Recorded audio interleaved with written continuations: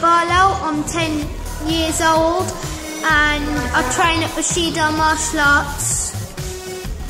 And the thing I like about Bushido Martial Arts is it's a nice atmosphere. You learn new things and Sensei Wayne is quite a funny guy. Um, he teaches well and he inspires us all to do our best and he inspires us all to achieve and improve as people and build up our confidence. Um,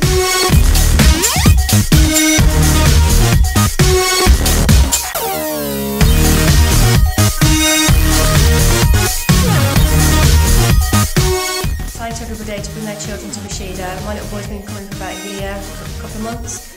Him here to bring him out himself and um, get confidence. And with Sensei, Deb and Wayne, he's come out of his shell and he's actually been little star of the, the month and he's got his third belt. He loves it, so I'd encourage you to come down and give him a word.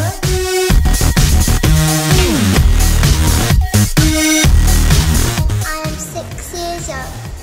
I like martial because there's some teachers who the best and I'm very good at my but I have to keep practicing my kicks and our perfect practice makes perfect and we get to do lots of games.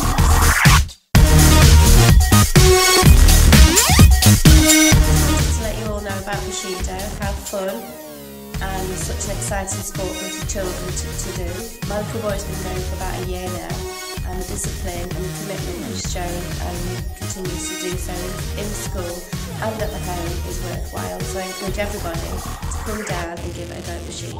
Thank you.